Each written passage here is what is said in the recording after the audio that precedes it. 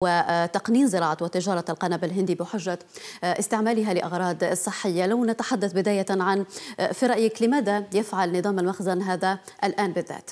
إذا سمحت لي آه، سؤال مهم جدا ويحتل يعني صدارة في الساعة. لكن نرجع آه، للوراء قليلا بحيث نتحدث على آه، زراعة القنب الهندي في المغرب. من المعلوم أنه المغرب هو أكبر منتج للقنب الهندي أكبر منتج ومصدر للقنب في العالم. وهذا يعني ماشي كلام تاعي مكتب الأمم المتحدة وكل الهيئات الدوليه آه، تقرر تقر بذلك. وإلى جانب المغرب يوجد آه، كولومبيا بالنسبة للكوكايين وفرنستان بالنسبة للأفيون. لكن الفرق بين هذه الدول الثلاثة هو أنه سواء بالنسبة للكوكايين في آه، جنوب أمريكا في كولومبيا أساسا أو آه، آه، الأفيون في فرنستان في كل من فرنستان وكولومبيا هناك عدم استقرار أمني. هناك ميليشيات تحمي هذه الزراعة. أما المغرب فبلد مستقر نسبيا. يعني ليس هناك تأثير أمني على الزراعة. ومع ذلك مكتب الأمم المتحدة للمخدرات والإجراء والجريمة في 2003 دار دراسة ميدانية وصرح بأنه المساحة المزروعة في المغرب للقنب بلغت 134 ألف هكتار. 134 ألف هكتار. بما يضعه في أي مرتبة فيما يخص يعني المرتبة الأولى المرتبة الأولى, الأولى. بالنسبة للقلم في العالم من حيث الزراعة ومن حيث الإنتاج. آه، آه، بناء على هذا التصريح آه، مكتب الأمم المتحدة كان عنده مكتب ملاحظ في المملكة المغربية فلما صرحوا بهذه الدراسة الميدانية طردوا من المغرب والآن أصبحت التصريح تقرير الامم المتحدة اللي ربما نعود له آه، بعد قليل. آه، كل سنة يشير بأنه آه، طبعا التقرير يبنى حاليا على تصريح الدول. يعني كل سنة مكتب الأمم المتحدة للمخدرات والجريمة يبعث استبيان لكل الدول التي أمضت على المهادات ويطرح عليها عدد من الأسئلة فبناء على التصاريح تاع هذه الدول يصدر القانون يصدر التقرير السنوي. فيما يخص يعني هذه النقطة نعم. هل أنت تقول أستاذ عبد النوري أن آه، آه، المغرب لا يحترم المعاهدة في إطار المعاهدة التي قامت بها الأمم المتحدة؟ نعم نعم. آه، قلت أنه المغرب المكتب الأمم المتحدة يصدر تقرير سنوي. التقرير السنوي تاع 2019 يقول باللي آه، بناء على تصريح المغرب آه، بلغت آه، مساحة الزراعة 47 ألف هكتار. يعني هذا ما تصرح به المغرب. فهذه كمية كبيرة جدا. والتقرير المرصد الأوروبي للمخدرات والإدمان يشير أنه في 2004 كان 70% من القنب المستهلك في أوروبا مصدره آه، المغرب, المغرب. فإذا ليس هناك خلاف بأن المغرب هو أكبر بلد منتج ومصدر آه، للقنب الهندي.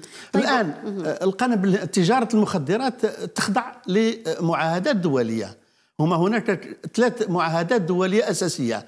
كاين المعاهدة الوحيدة حول المخدرات لسنة 61 1961 والتي عدلت ببروتوكول 1972 وبعد ذلك جاءت معاهدة 1971 حول المؤثرات العقلية. وأخيرا المعاهدة الثالثة والأخيرة هي معاهدة الأمم المتحدة حول التجارة غير المشروع في المخدرات والمؤثرات العقلية اللي صدر في 1988 الآن المغرب مضى المعاهدات الثلاثة هذو وعندما تمضي بلد آه، على المعاهدات فيستلزم عليه التزامات يحترمها.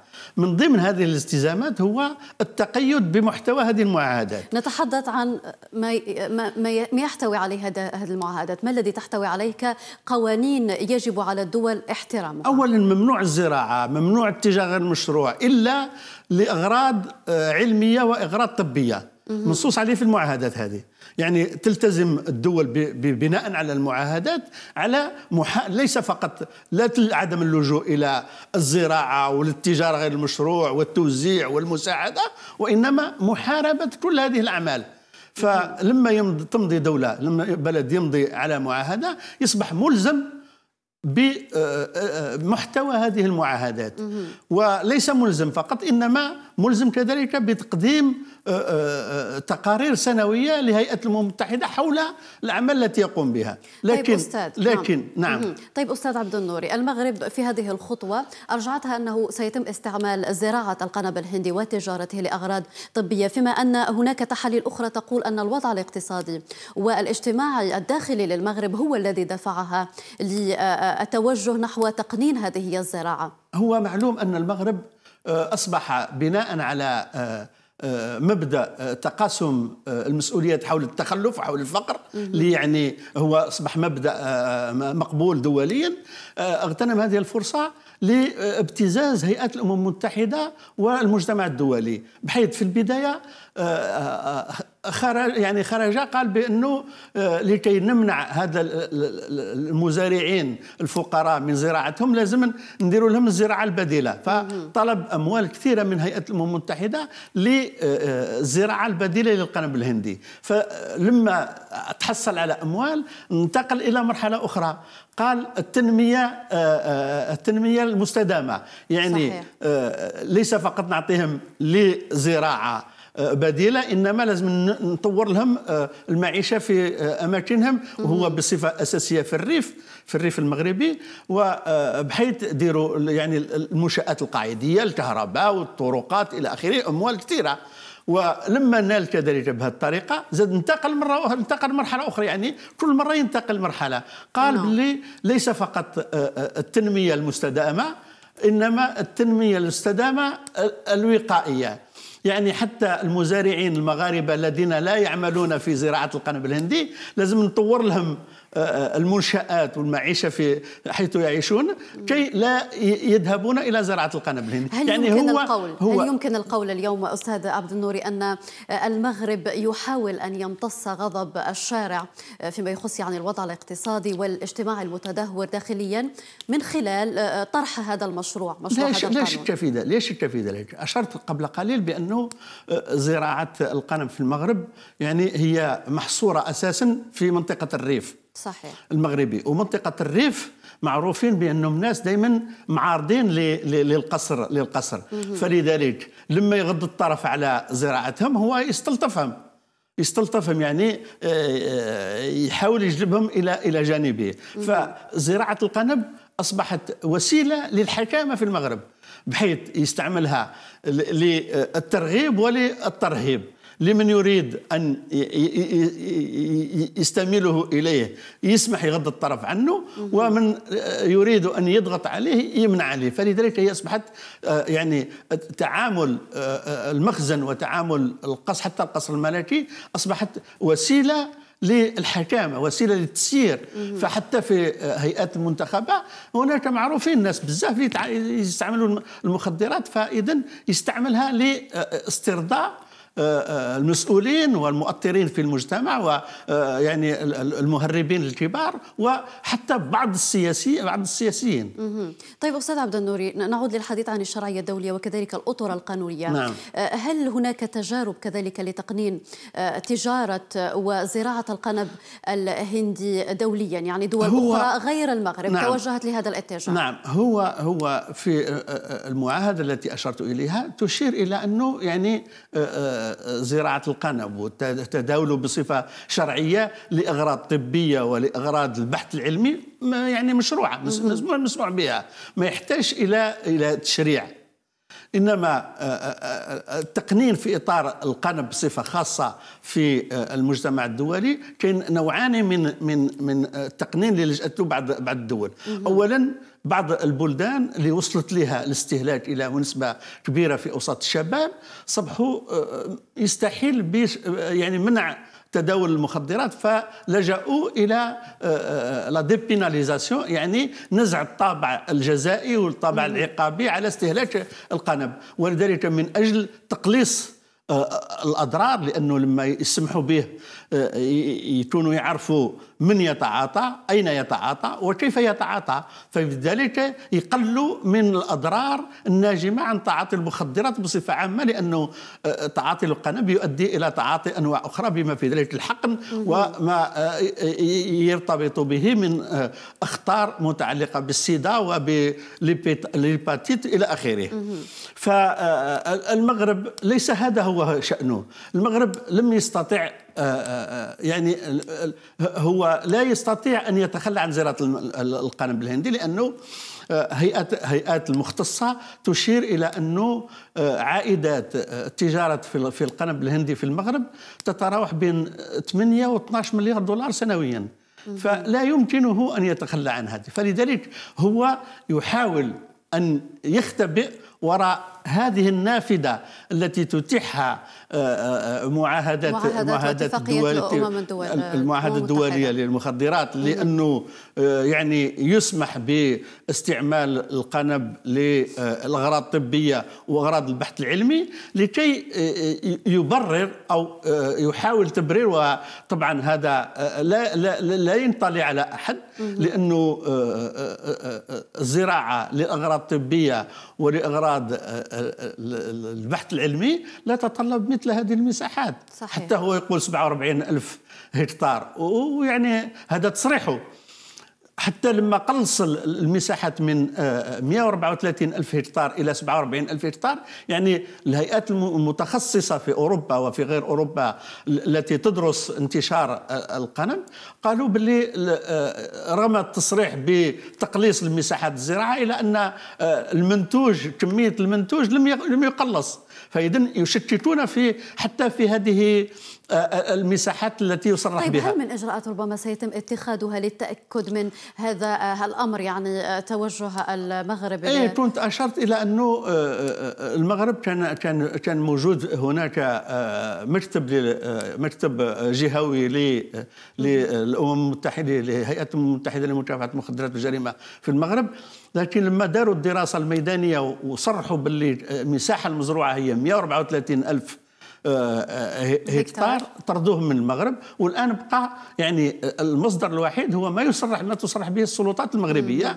بناء على يعني آه، مستلزمات الإمضاء على المعاهدات المختلفة.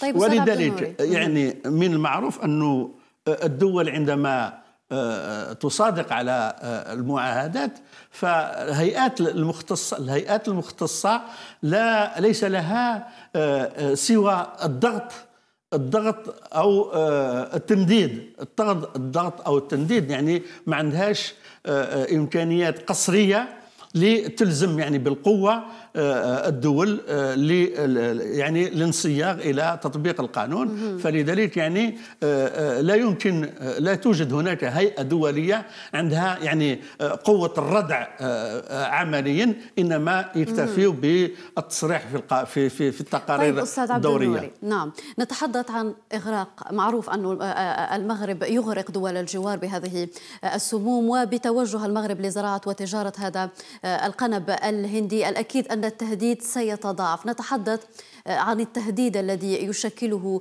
آه، تقنين تجارة وزراعة هذا القنب الهندي على الدول المجاورة. ونخص بالذكر هنا الجزائر. آه، هو حتى في إطار المنع. السوق الجزائرية والسوق الدول المحيطة بالمغرب يعني مليئة بالمخدر بالقنب المغربي. فلكن عندما هو يقنن يحاول تبرير يحاول تبرير. ولكن لا الحيلة هذه لا تنطلي على أحد. إحنا في في الجزائر فقط اللي هو آه، من أهداف آه، من المناطق المستهدفة آه، من طرف المهربين. في الجزائر في الخمس سنين الخمس سنوات الأخيرة تم حجز 375 طن من القنب الهندي المغربي. وفي سنة 2020 حسب تصريح الديوان الوطني لمكافحه المخدرات. تم حجز 77 طن من لما نقول 77 طن ربما المستمع الكريم والمشاهد الكريم ما يقدرش لما نقول سبع آه واحد واحد 77 طن معناه 77 مليون غرام. إذا قلنا باللي كل غرام يمثل جرعة يعني 77 مليون جرعة من القنب تم حجزها. هذه كمية كبيرة جدا. والمغرب يستهدف الجزائر بالإضافة إلى أوروبا والشرق الأوسط لسببين أساسيين. اولا جعل شبكة توزيع المخدرات في الجزائر دائمه حتى ديمو من أجل ديمومة تهريب المخدرات. اذا يجعل النشطاء المهربين المخدرات في الجزائر دايمين. ثانيا إغراق السوق. لما تغرق السوق يزيد الاستهلاك في أوساط الشباب. صحيح. لما يزيد الاستهلاك تزيد العائدات القنب الهندي. ثالثا وهو الأساس هو ضرب الجزائر في قوتها الحيوية وهم الشباب. عندما تغرق السوق فإن يزداد آه، يزداد التعاطي والشباب أساسا هم المستهدفون من هذا آه، آه، من هذا السم القاتل هذا. فاذا هذه هي الأهداف الثلاثة. ولا شك أنه الآن المغرب واقع تحت يعني تنديدات وتقارير متعددة. لما يقنن يقول أنا ندير القنب الهندي من أجل من أجل من أجل الأغراض الطبيه لنبيع للبلدان فقط والأغراض البحث العلمي كأنه يبرر زراعة القنب الهندي اللي طيب هو غير مبرر ولا يقبله أحد. تحدث عن المغرب هو تحت مجهر العديد من المنظمات الدولية. آه، نتحدث عن منظمة دولية لمكافحة تبييض الأموال وكذلك تمويل الإرهاب. إذا آه، يمكن القول أن آه، الآن الخطر هو مزدوج بين زراعة وتجارة القنب الهندي وكذلك تمويل المجموعات الإرهابية من جهة أخرى. من المعلوم أن هناك علاقة وطيدة بين جرائم بين ثلاث جرائم آه، منظمة آه، عابرة للحدود والقارات. آه، المخدرات وتبويض تبييض الأموال. تبييض الأموال والإرهاب. هذا ارتباط متين بينهم خاصة تجارة التجارة غير المشروعة في المخدرات وتبييض الأموال نعم. هيئة الأمم المتحدة والمختصين يقولوا بأن عائدات التجارة غير المشروعه في المخدرات سنويا تفوق عائدات البترول عائدات تجارة تفوق عائدات تجارة البترول. فاذا المخدرات تدر أموال كبيرة جدا أموال طائلة جدا. فلا آه، آه، يمكن للمغرب اليوم وهو في آه، أزمة أن يتخلى عنها. ولذلك هو يحاول أن يسهل حتى آه، آه، تبييض الأموال التي تعود على المخدرات. من المعلوم كذلك أنه آه، شبكات توزيع المخدرات في أوروبا حتى يعني الاستهلاك المباشر يعني عن الديتاي فيها مغاربة كثير مباشرة يستعملوهم في توزيع المخدرات. والأموال يعيدها للمغرب لتبييضها وإدخالها في الاقتصاد الدولي إلى آخره، فاذا آه، آه، تبييض تبييض الأموال والمخدرات مرتبطين ارتباط وثيق ومعلوم أنه آه، في المغرب المهربين يجدون سهولة كبيرة لإدخال الاموال عائدات التجارة غير المشروعه في المخدرات في الاقتصاد. المدة الأخيرة ما هو معلوم وما هو أصبح مقبول جدا أنه حتى آه، آه، تجارة الكوكايين أصبحت يعني منتشرة كثير في المغرب.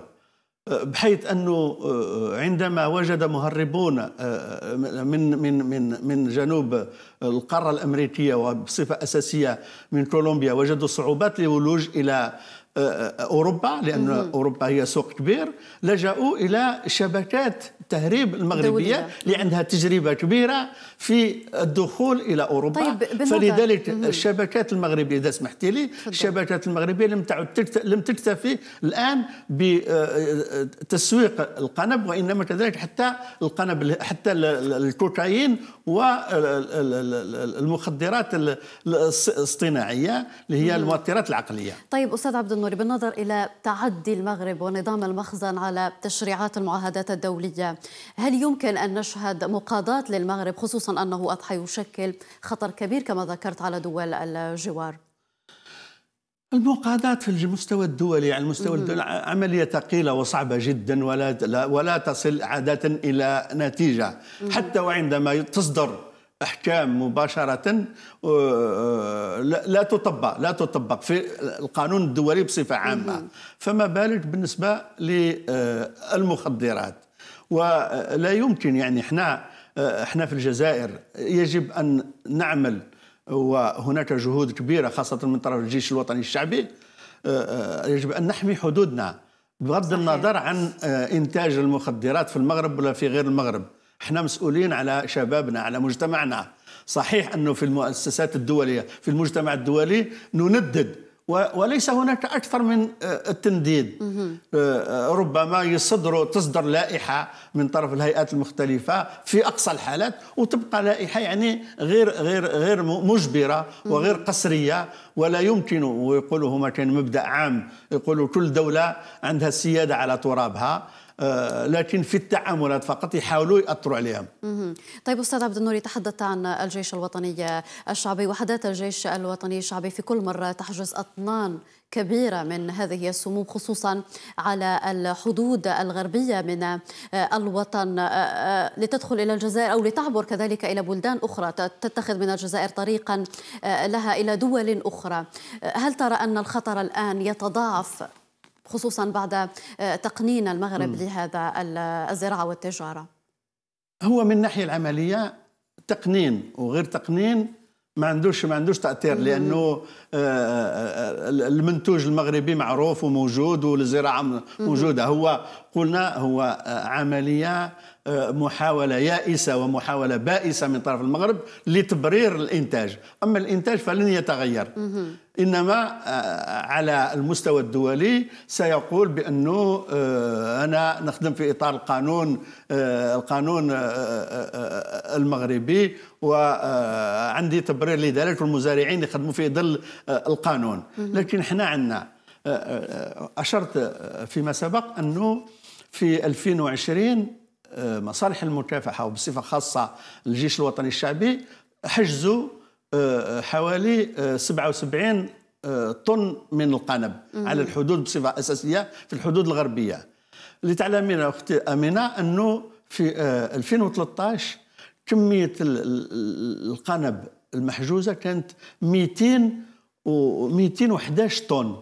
211 طن في 2013 نقصت إلى 77 طن في 2020 هذا بفضل يعني لأنه من من من بداية 2010 فما ف إلى هنا الجيش الوطني الشعبي أخذ آه، على عاتقه مهمة حماية الحدود آه، خاصة بالنسبة لادخال آه، المخدرات. ولذلك يعني أصبح من الصعب جدا آه، على الشبكات أن تدخل كميات معتبره من من المخدرات ولذلك آه، آه، قلصت الكمية المحجوزة من ذلك إلى الآن. لكن مع ذلك المهربون عندهم وسائل متطورة جدا. لا يمكن أن تمنع لأي قوة في العالم أن تمنع يعني آه، كليا آه، آه، دخول المخدرات إلى إلى مساحة جغرافية معينة.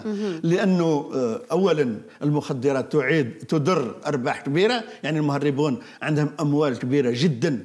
هذه الأموال هذه تسمح لهم باقتناء كل الوسائل المتطورة التي لا تستطيع بعض الأحيان حتى الدول اقتنائها.